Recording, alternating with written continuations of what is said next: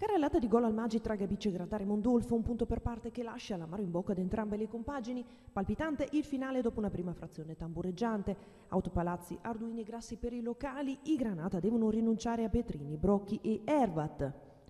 Pronti via il Pungiglione ospite va a segno con la girata sotto porta di Cinotti. Si passa all'ottavo minuto con il tentativo dal limite di Ferrani tenuto d'occhio da Landini. Al 36esimo il giovane portiere Alessandrini sale in cattedra intervenendo su Paniconi, ma è attendista al 43esimo sull'inzuccata di Carletti Orsini, lasciato però libero di agire. Due giri di lancetta più tardi e i rossoblù accorciano le distanze con il destro preciso di Muratori che manda tutti negli spogliatoi.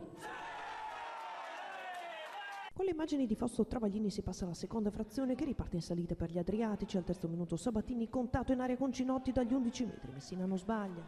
Il Gabice Gradara non si abbatte con caparbietà ribalta il risultato. L'ottavo giunge il centro di Facondini. Otto minuti più tardi lunga gittata di Sabatini prolunga Rossi. Muratore nel corridoio centra il lob che vale il 3 a 3.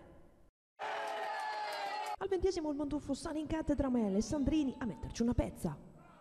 Cambio di fronte al 34esimo scatenato Santucci sull'arteria di sinistra in mezzo per la girata di Rossi che infila nell'angolino basso. I giochi sembrano conclusi ma al 45esimo il Mondulfo guanta il pareggio ad opera di Italia Vento e chiude l'incontro sul 4 a 4. Al termine della contesa le parole del tecnico del Mondulfo Marco Franceschelli e del tecnico del Gabice Gradara ex Mondulfo Roberto Barattini.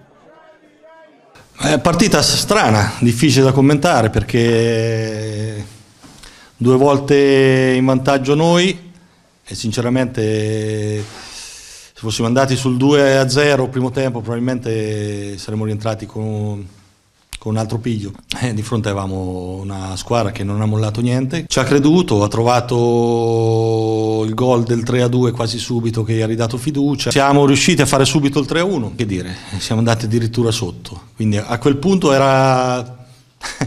era drammatica dall'altra parte. Siamo stati bravi a crederci, a provarci fino alla fine. Chi, chi ha visto la partita non si è annoiato, perché otto gol insomma neanche capitano tutte le partite. Ho dell'ingenuità, nonostante che insomma, siamo vivi, abbiamo reagito abbastanza bene, o forse ho la, la troppa paura di vincere o purtroppo abbiamo subito il 4-4. Comunque i ragazzi non gli si può rimproverare nulla perché penso che è andato eh, l'anima